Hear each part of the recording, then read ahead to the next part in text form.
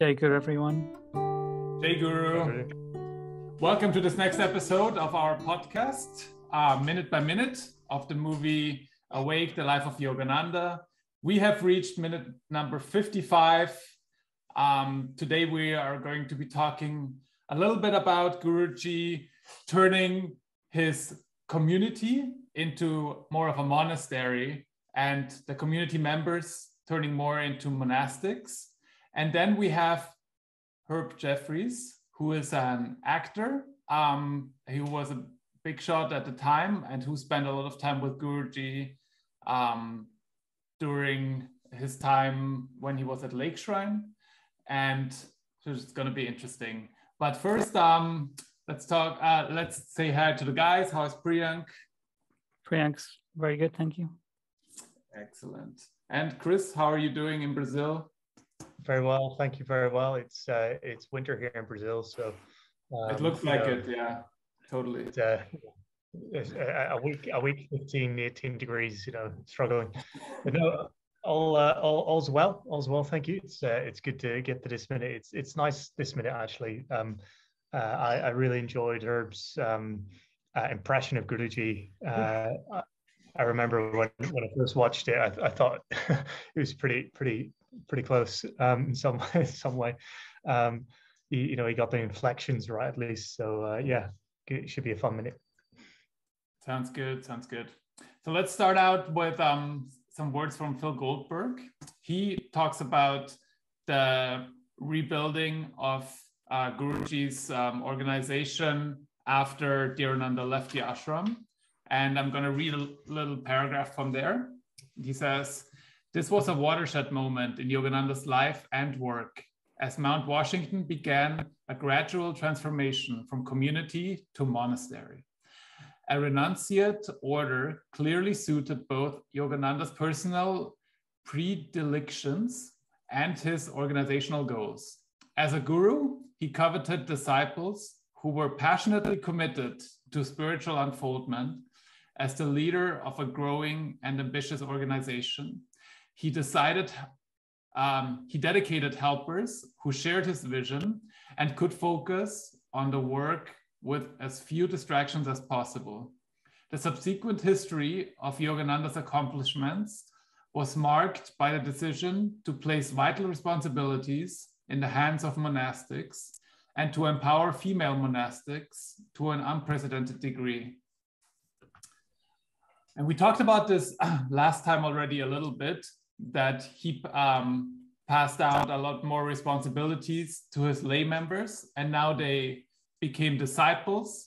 And the actual watershed moment that Phil Goldberg is talking here about is actually Dayamata um, and her family joining the ashram, which which um, they were all really good um, uh, organizers. They were all very good at um, doing the ashram work, and they were able to take a lot of burdens off Yogananda's shoulders and put them, um, do them themselves. And it freed up uh, Guruji's time a lot more. So there was a lot more delegation going on, and there was a lot more um, uh, organization happening. So the organization grew in a different way this time. It was less in a um, sensationalist way, and it was more in a very devout followers came and it grew slowly but organically. Priyank?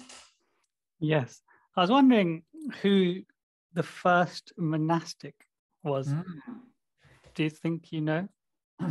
No, I don't think I know. It'll be interesting. I don't know. I'm just looking at that Wikipedia page that we talked about last time, which is like the list of direct disciples of Yogananda, which says, like, for example, the first one on the list is like Dr. Lewis's in 1920. Then it says Sister Yoga Mata in 1920, but that doesn't that doesn't say like when she took her vows. Um, um, you know, it doesn't say when she became a monastic. So it's a bit. Um, I wonder who the first actual Western one was that took the vows. If anyone knows, please do let us know. It's um, I I would say the the dates are it's it's not easy to know at what point it actually became a monastic order or if it was one from the beginning.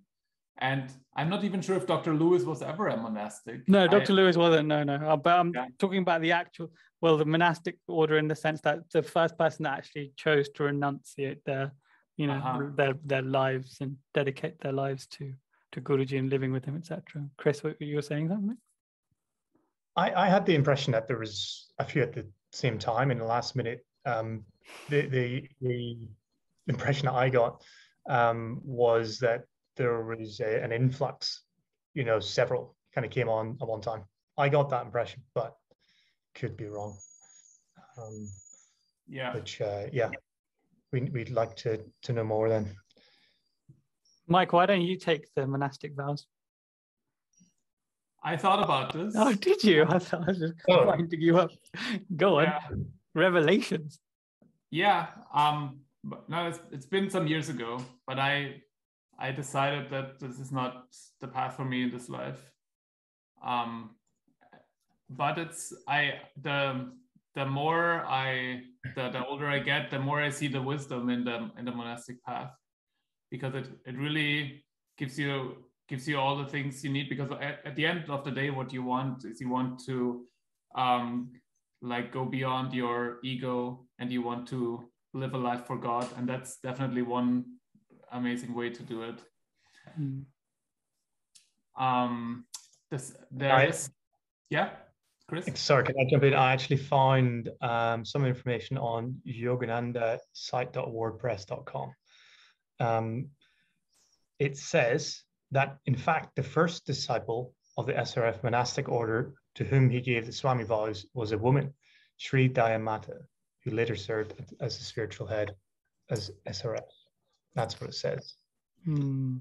Okay, that make, that makes sense. But that's that would also mean that the the monastic life really started in the 30s, right? Yeah. And not, not in the beginning, Yeah. which is what we thought anyways, right?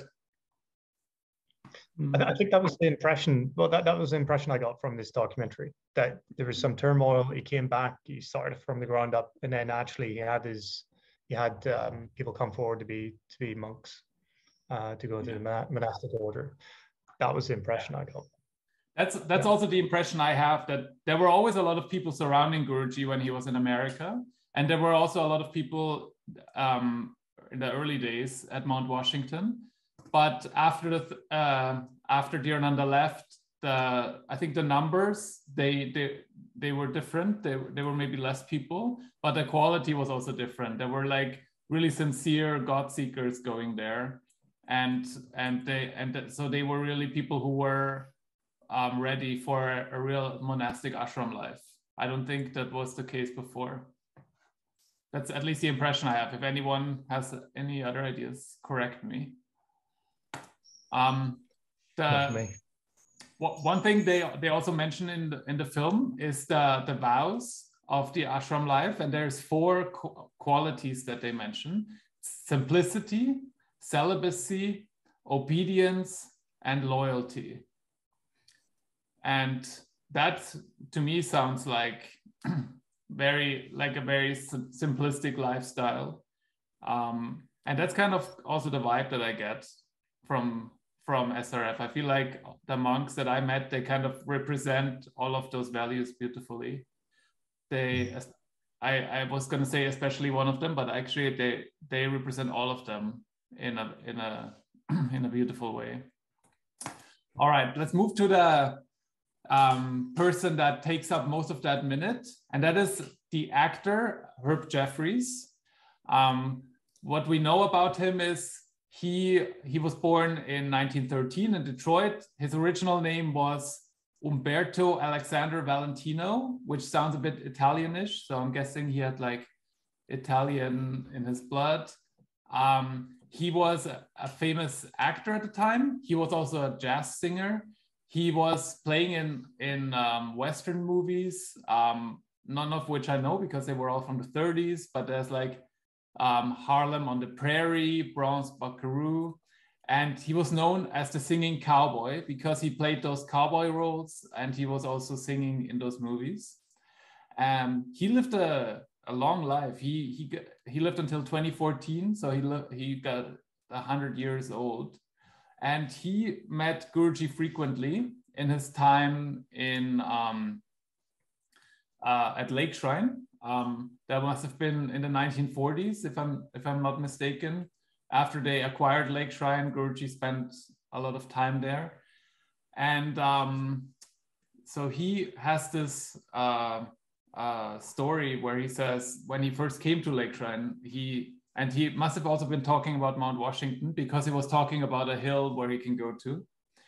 He's he um, had this um, uh, story. I'm I'm gonna read the dialogue a little bit where he he keeps saying basically that whenever he saw religion before, he it was a lot of things that he was not allowed to do. He shall not do that. He shall not do this and then he went, one of the first times he met Guruji, he asked him, So if I'm not allowed to do any of those things, what can I do? And um, then he asked him, Can um, do you smoke? Yes.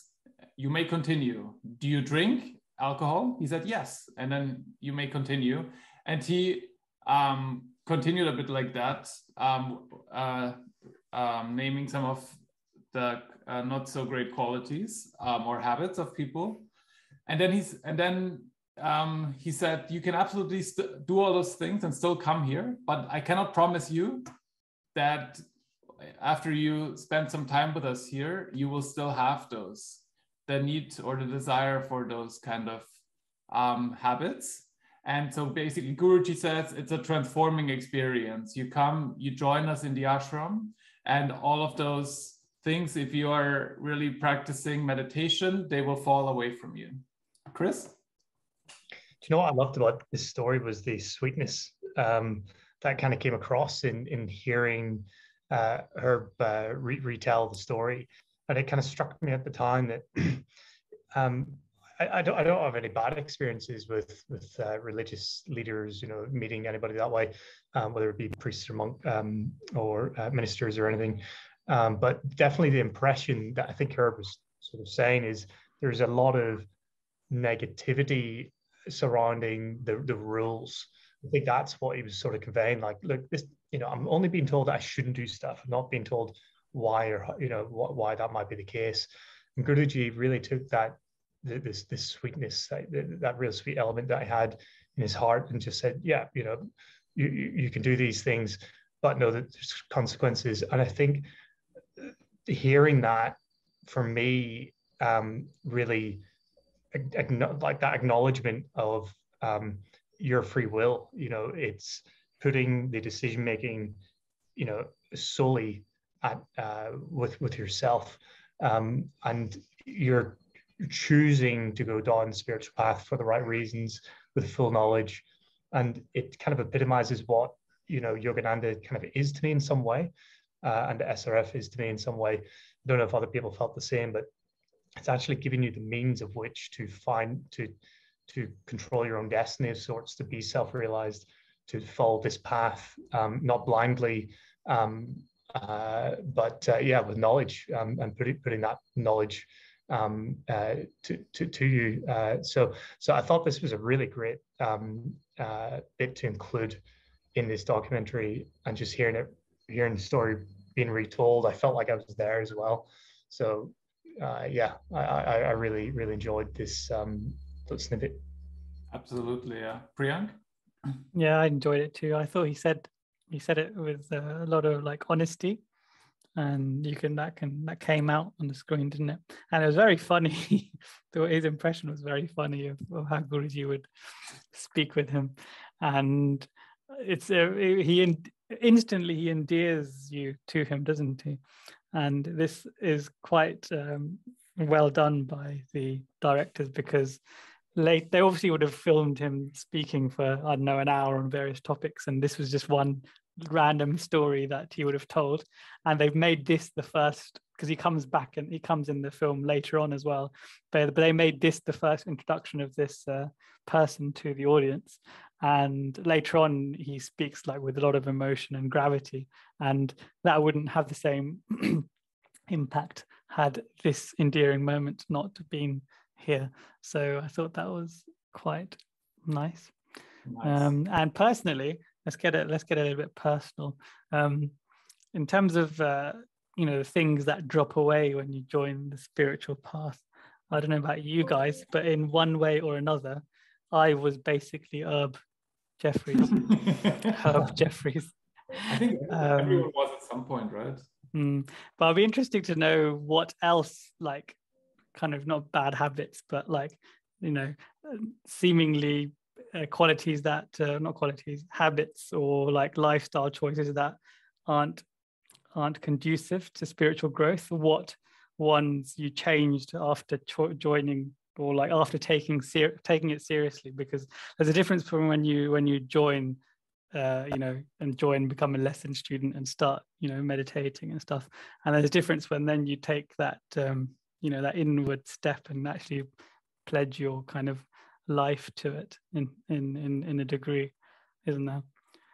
Absolutely. I i think this is always the case you know when you are new on the path um, what you're not looking for is like um, some organization that tells you how bad you are. It is more like you are looking for someone who actually loves you. And love means that there is not not an artificial border or a boundary where you are on the outside and you have to work your way in. It is more like you are in from the first day and you get inspired you know your soul gets awakened and you get inspired to become this better person that you want to that actually you want to be. If you look inside and hollywood is uh, produces all those kind of people that are so successful but they have problems with drugs and they they are unhappy. And so there were a lot of interactions of that kind right? Uh, remember the stories of um, elvis presley visiting Dayamata right? And he was like she always said he was such a sweet soul right? Um, but he like he had all this fame and then it's really hard to to uh, turn turn all this energy into something positive or I remember um, late brother Turiyananda at Mount Washington, he would once a month receive a gang of bikers at Mount Washington. And they would come once a month and they would um, bring all their Harley Davidsons and park like 20 or 30 of them in front of Mount Washington headquarters and then walk into Mother Center and ask for Brother Turiyananda and then he would come down and you know brother Turiyananda he was like this big guy and he he was like um, there was always some banter going on when he was there. And he they, they felt really understood by him. And so when um, when when he came down and and he talked to them about god they felt understood and they felt inspired. And so they came on a regular basis. And when brother passed away they came one or two more times but then they they stopped coming because they had this special connection with him. And so i, I feel like this is a, this is an important um, element. Priya? Yeah brother Turiyananda, is that is he the one with the strong french accent or am i thinking of someone there were multiple, but he, I think he, yeah, he also had a friend. Yeah, he's got a really. There aren't many talks of him, if I recall, uh, recorded, but the ones that there are, he's really, he's a very powerful, powerful. Must, um, I don't remember him seeing speaker. him live because it was a bit before my time, but he had some of the best quotes that yeah. I've heard. yeah. Um, going back to the topic um, yeah. of um, you know things dropping away. I remember when i um started and started taking it seriously for me it wasn't like gradual. I kind of just pretty much instantly changed. Like for example i stopped drinking straight away. I stopped eating i used to eat meat um, and i stopped straight away. So like i did i did these various like um you know uh, things that uh, that seem drastic to like your friends and family um, but I did them really like abruptly. And this, I think it's it's not to do with like how you know my past life and well it might be, but it's more to do with my weaknesses in the sense that I can't do things like in moderation.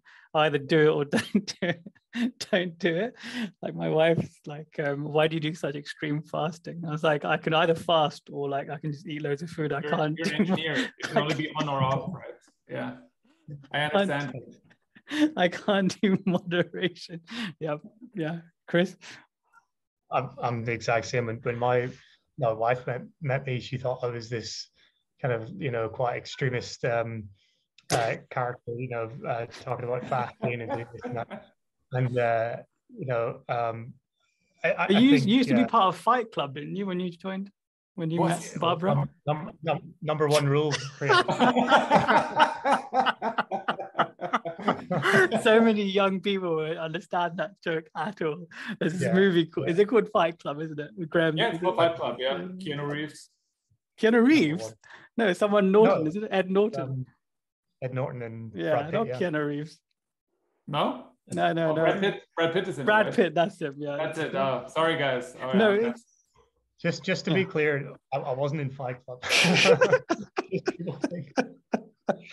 Anyway, um, I was the same, Priyank, to, to you, and I know we're going to talk about this in some more detail in the next minute. We're going to cover, you know, some of the reasoning behind this, but as to why why it might be the case that you would see that drastic change. Um, for me, I, I did some intensive, you know, meditations over the course of I think, you know, 48, 48 days and I changed entirely, you know, and um, there was you know, a light switch that kind of just went on, as it were. Um, and you know, as I said, we're going to talk about this a little bit more in the next minute about neuroplasticity and things like that. That's re- a really interesting topic, um, which I think this is the reasoning behind it. Um, uh, that the the old habits were actually smoothed out in the in the brain in the grooves of the brain. Just kind of wiped them out uh, to, to a good degree. Um, but uh, I, I, guys, I wanted to actually mention like Sri um, Sri Dayamata's comments about like there's no evil, there's there's ignorance, there's like kind of shades of ignorance, um, and Yogananda's uh, mention about raising children. And I think it, it's kind of like relevant here in some ways. Like um, Yogananda was saying how much um, how much wrong or evil or ignorance in the world could be could be uh, fixed by better um, cultivating children um, and not scolding them when they do things wrong. So for in this in this instance, you know, you've got Herb sitting there quite innocently, Priyank, as you said, like asking him asking questions like, "Oh, I'm smoking, I'm you know, I'm boozing, I'm promiscuous. Uh, am, am I still welcome here?" And Yogananda's like, yeah, yeah, yeah, of course you're welcome here. You know, he's not scolding him for, hey, you shouldn't be doing this, you shouldn't be doing that. He's he's giving him this loving, um, uh, mother, mother, mothering love, uh, uh, almost as, as you put it there, Mike. You know, he's given him unconditional love, and imagine if he had have turned around and kind of beat him over the head and said, "Stop doing what you're doing." So Yogananda's kind of practicing what he preaches in in many ways here by giving him that unconditional love. Um, he talks about it in the lessons. Uh, again, I think I just read it recently, um, coincidentally. Um, but yeah, I just wanted to mention that. Like, it, it's it's a great example, isn't it, of how he actually does practice what he preaches. Yeah, Mm. and it and it um, made an imprint on his life. So he, like I Mm. said, he he uh, became hundred years old. So he was barely at the half point of his life at the time when Guruji passed away, and he lived a spiritual like he. I mean, he he had his career obviously, but he uh, had a spiritual imprint, a spiritual inclination for the rest of his life. I read his um, there was an obituary on the UCLA website, and it and it said there he was a student of Yogananda, a lifelong student of Yogananda. So that was great. So if I ever, if there's ever an obituary written about me, I wanted to say that too. That's that is like quality mark for a lifetime, I would say. nice. Definitely. Yeah. So um, one more thing is like there's a famous story that um, involves Sir Jeffries as well, and it's about him um, uh, thinking uh, that uh, Guruji should do some magic tricks for him when he first met him, and uh, Guruji picks up on that. Um, should we read that card, Priyank? Do you want to start? Yeah, sure. So, I was once sitting with Yoganandaji in his room at Mount Washington at Self Realization Fellowship headquarters. He had a beautiful view of the distant hills and mountains. Guruji was often, sorry, Guruji was talking to me in his wonderful, kind voice. I was sitting on the floor listening to him. I had been with him for a year by then, And I started thinking, I've been here for a year. Why don't you do something miraculous like walking across the swimming pool? Suddenly, Yogananda responded to my mental question. He said, Ah, what do you want me to do, boy? A 10 cent store trick? it's already how he picks up just on your thoughts, right? It's amazing. Mm-hmm. Chris, do you want to continue? Yes. He continued, Suppose I take this incense burner and I take away and I take my hand away. You'll see this thing levitating before you. This is a miraculous thing. No, we don't want to do a 10 cent store trick. Suppose I take this table. It's a larger object, therefore a greater phenomenon. And we and we don't want to do a 10 cent 10 cent store trick. Suppose we take this room we are sitting in and let it rise in an elevator. It's a larger object and therefore a greater phenomenon. Ah, we don't want those 10 cent store tricks. or, and then he continues, uh, look out the window and see that mountain. Suppose I take this mountain, lifting up this mountain and let it rise up into the air from the horizon. It's a greater object and therefore a great, great, great phenomenon. Uh, we don't do 10 cent store tricks. Now let's suppose we take this planet Earth, 25,000 miles in circumference, and I make it levitate in the firmament, no strings to hold it up, levitating. You see what I mean, boy? Why then do you want me to do a 10 cent store trick with an incense burner? uh, and it's such a such an interesting story because it's really we live in this life and we take it all for granted because we see it every day but it's all it's all god's miracle that we that we live in here right? And um, I, I think the other the other thing is that he already performed a miracle in my mind by just reading his thoughts there right? Just by just imagine you sit there with your guru and you think something something and then he just picks up on your thoughts like that. That reminds me so much of Sri Yukteswar and Guruji together, right? When they have their stories, like the one on the mosquito consciousness, or there's so so many so many examples of it. And I'm I'm sure one of the reasons why Herb Jeffries shared that story is because he felt so blessed being able to have a story like this with Guruji. And I'm sure they must have had a, a connection from a previous life or something like that to to be able to um, work this uh, show such a great example of a, a disciple guru relationship. Uh, Priyank? Yeah, I found it cool. The one of the example miracle examples he used was um, taking this mountain and lifting it up and rising up in the air, because I'm sure you'll remember the young the boy Krishna did that in his mm, adolescence. Mm, yeah, mm-hmm, to save mm-hmm. his um, yeah. to save his village family from the drowning, uh, you know, from the waters and rainers with his uh, little finger. So uh, yeah, hence we call of um, Govardhana because he lifted the Govardhan mountain. Yeah, and yeah, I, I guess the the the willingness to do miracles is very high in the Bhagavad Gita some for some reason. Um, but it was also a different time back then, I guess, when people's minds were less like, I, I feel like back then those kind of things were maybe not as spectacular in the context of things because there were so many gods everywhere that performed um, big miracles.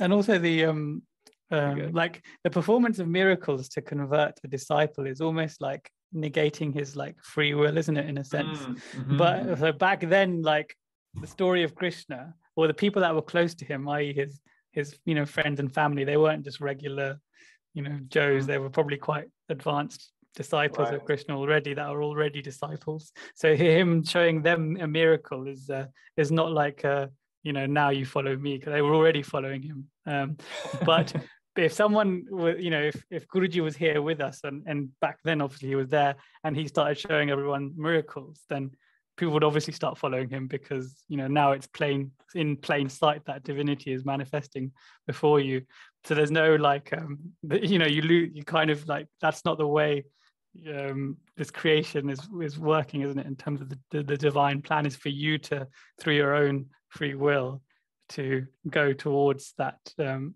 that path. And so similarly, like you know, in Krishna's days, um, everyone everyone heard about his glory. They had to then believe or disbelieve and then choose to follow or not follow follow. Only his like very close disciples actually saw these things. The rest heard about it. So there's there's, there's, the nuance difference. And then so then the rest of you know india had you know they heard about the glories of krishna but they didn't you know they, they, they were then it's within their gift whether or not they followed him or not. Uh, mm. no, that makes sense but at the same time, I keep wondering about this. There, there's oftentimes it's being said that our world is suffering from ignorance of God, right? That we we have so such a um, strong inclination in the Western world for atheism, and that and then there's all kinds of reasons why people don't believe in God. And I was I'm sometimes wondering, wouldn't like if we have some saints coming up doing some miracles, wouldn't that change that? Um, wouldn't that make it make it different in people's lives? Um, showing people that god is important and god is real and a lot of things bad things that happen to us is because we don't turn to him. But there would then there would be no play. The play would be over. Yeah, yeah. The Kia, yeah. There'd, be, there'd be no chiaroscuro would there? Maybe. I, I i was i would like you know I, you you read sometimes what Sri Yukteswar writes in the Holy Science that you will have a society that will be there as a society. The goal will be to find God, and you are born, and you're being taught about it, and you're being put on a path, and you know. And I don't see any of this right now. So, he's talking about the Satya Yuga, right? The highest in the highest stage where it'll be predominant. But even in the Satya Yuga, I'm sure there's people that are mired in delusion as well. But obviously, there might be the minority. Yeah, but even even before the Satya Yuga, he talks about a world civilization that is that is like looking for for God essentially, and um, I don't think it means that they all find him. I, I wish everyone would just be on somewhere on on this kind of like moving in the right direction, but maybe that's it's too much for our time right now. Too much of an optimist. yeah. Chris? We're in the time we, we, we need to figure out through reason. I think it's it's like trying to wrap our minds around the new, um, you know, uh, the, the, the new uh, uh, terms that electricity and um, you know we're splitting the atom and think these things we, we need to understand the science behind it right um, so maybe maybe that's like a phase that humanity needs to go through before it can actually accept the the more ridiculous phenomenons that go on in in in, uh, in life. But th- there's the guy um, just popped into my head, um, a guru. Uh, I think he passed in India. That he was manifesting like jewelry. Um, Sat- Satya Sai Baba. Isn't That's him. Yeah. Yeah, he's he's really well known for that, isn't he? Uh, he would kind of go around and do something with his hand and he would just be handing out jewelry to everybody that he would, you know, to people that would pass. That's like very, very different to what, you know, Yogananda and Sri Yukteswar people would talk about. Um, you know, don't manifest your powers in, in in front of people. This is in plain sight, and there's video video footage of it. Whether it's real or not, I, I don't know what you guys think, but I was very skeptical when I saw that. Um, yeah, I was also skeptical about him. I mean, I don't know. I I don't have any any any real knowledge about it, but I I read a lot of, uh, of people said that he was like I don't know, maybe not for real. What do you think, Brian? Um, I saw that one very famous video where he like regurgitated like a gold egg. Really? did, you, did you see that? It was really funny and it looked so silly because I haven't oh, met him. It, I haven't I haven't met him, or I didn't like you know. So I don't. But people that have met him and have been in his presence have sworn to the experience. But on the video, it just looks horrific. It just looks so silly. Um, if you if you, if you watch that video, you can clearly see that um, he's basically swallowed this thing and then he's just regurgitating it. This huge freaking gold egg yeah. that he's regurgitating. It looks miraculous, but it looks silly as well. Um, so yeah, so again, this goes back to the whole Krishna thing, right? So people were there, they saw it, and you know they were they didn't need to believe they saw it with their own eyes. The rest have to uh, choose whether or not to go down that path. Yeah. Imagine. Oh, yeah. Imagine you're friends with Lahiri Mahashaya, where he just came back from the mountain and then he makes Babaji appear. yeah, and then and then Babaji tells him off, right? Pretty much. Yeah, he does. Yeah. So which which shows you like which kind of might kind of answers your previous uh, like you know pondering that you had about why don't you know how, how good would it be if they just showed showed yeah. you right he, told, tells him i will always appear when you call for me. And then he was like now i will only appear yeah. if you need me. Exactly right. Because because a lot of people are they, they just care about they're just idle curious idle curiosity seekers. They're not like mm-hmm. seekers right? So like if they saw a miracle they'll be and then they just be like oh that's a miracle. Cool. That guy performs miracles that's mm-hmm. just what he does. And then they'll just pitch, they just box that into a thing and then just move, carry on with their lives and trivial, trivialize the most, you know, divine aspect of, of a saint or a master. Yeah, I think you're right. Like I, those people that saw Bab, that, that Lahiri Mahashaya showed to Babaji, do you think they then became lifetime disciples? Maybe uh, you don't know, right? Yeah, but do you do you think they did? Because then Babaji would not have then reprimanded Lahiri Mahashaya because he was clearly saying they were just they were just having a banter conversation pretty much, and then they, Lahiri Mahashaya made it made Babaji appear. True. I mean, it is hard for me to believe that Babaji appears to you and it doesn't make a spiritual impact on your no, life. No, Mike, I, it's not hard for me to believe at all because I've seen like grace that's defense, like that's like been upon my friends and family and yet they still do not choose to go down that path that their grace has come from. So mm-hmm. it's not like it's not it's not so clear that oh you you see it and you experience it so then you your life changed and you go in that direction. I've seen with my own eyes that that's not what happens with like humanity. They they just they're too like well you know in in my opinion sometimes they're too like engrossed and it's quite hard there's too much inertia to change the course or the direction that you should follow even even though you've just experienced something so divine. And like and i think it's probably also some sort of fear in that as well. They don't want to let go of like things that they've just pretty much invested their whole life and their whole being into all their energies. I don't know. Conjecture. Chris? I, I have a little take on this. I think you know we're we're gods with a small g in a sense. You know, we, we have a great ability to manifest our realities. And so you kind of see what you want to see. You know, your your your programming is, is there to allow you to experience life as you will it to be. So if you're if you have this will to be to live in ignorance, I don't don't think uh, it's it's necessarily God's will then to deter you of that ignorance against your against your will, if that makes sense. So so it's it's up to you to then choose. You have to choose it. Otherwise, you know, you can take the horse to the water, but you can't make it drink. But I think I think it's to do with the will power. It's quite strong. Yeah, it's my take. Maybe. Yeah. It's... Absolutely. Should we leave it at that? That was um um, summarizes the minute pretty well. So we have talked about um, Guruji turning the community into more of a monastic life. And we talked about Herb Jeffries and how he is was a celebrity turned disciple and um, followed it for uh, the length of his life. Um, Priyank, any last thoughts? Last thoughts, maybe some deeper thoughts. Um, we glossed over the the vows a little bit. Um, so the vows that they mentioned in the minute were simplicity, celibacy, obedience, and loyalty. Um, interestingly, those aren't necessarily vows that only monks need to take.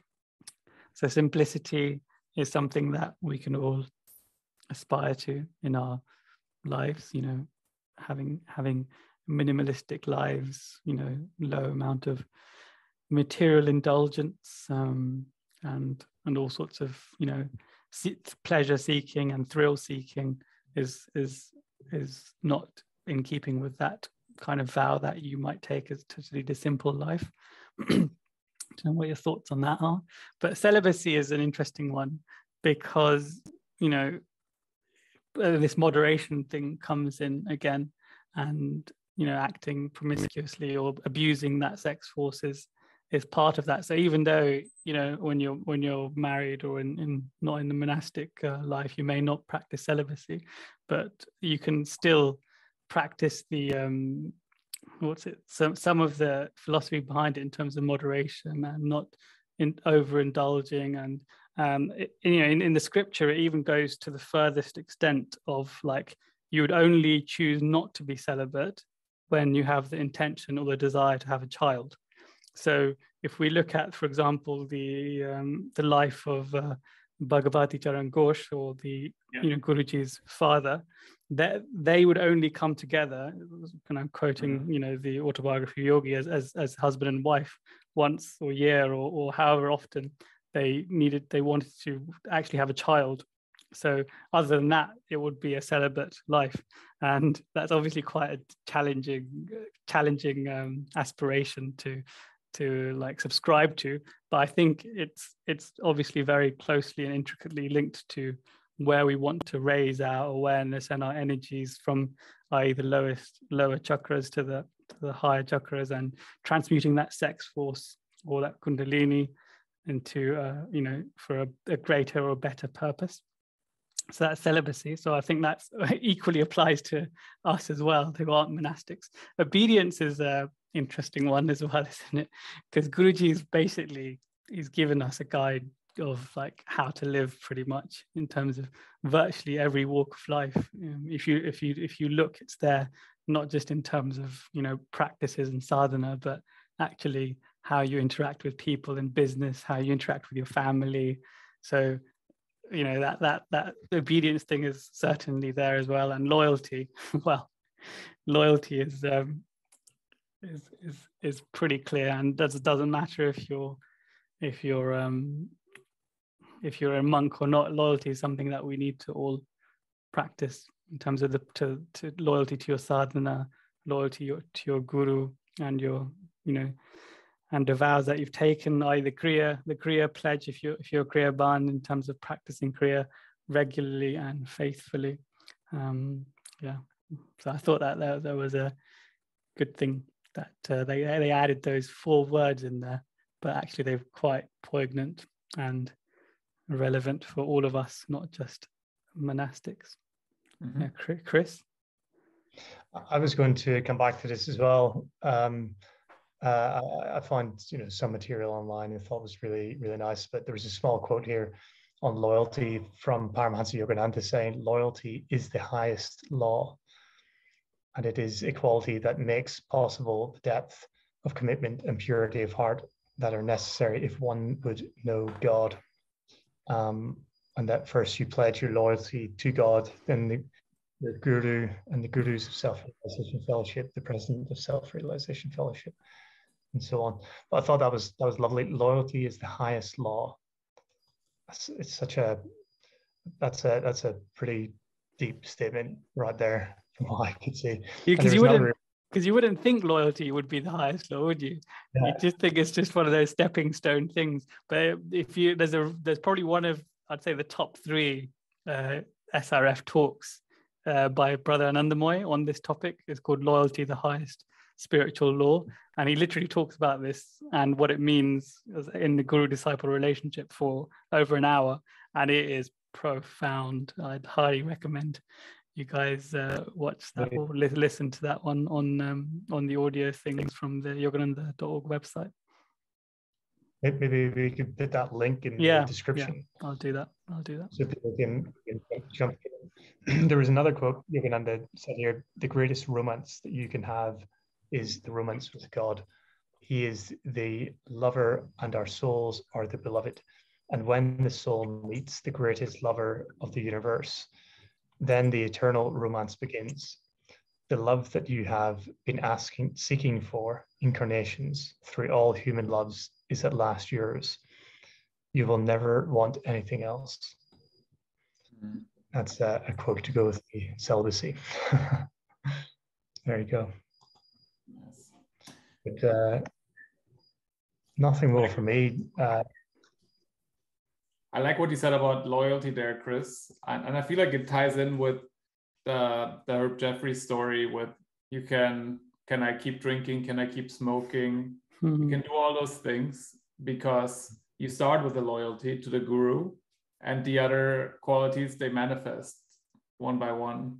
I'm guessing as as, as you spend time in this higher vibration. But the loyalty is something you must have because otherwise you will just quit and not come again, and then it will be just a limited amount of mm-hmm. of um, uh, change that will happen in your life. But if you stick with it, then eventually you will um, succeed in your goal to be free. Freedom. Yes, freedom. Free at last. Yes. That would be good to quote uh, Samadhi poem now. which we which knowing, we've all knower known yeah yeah as one which we've all memorized of course in our various books all right okay um thank, thank you guys that was minute 51 55 is it 55 oh 55 that's right all right Jai Guru. Jai Guru. Jai Guru. Thank you. Bye. Jai Guru.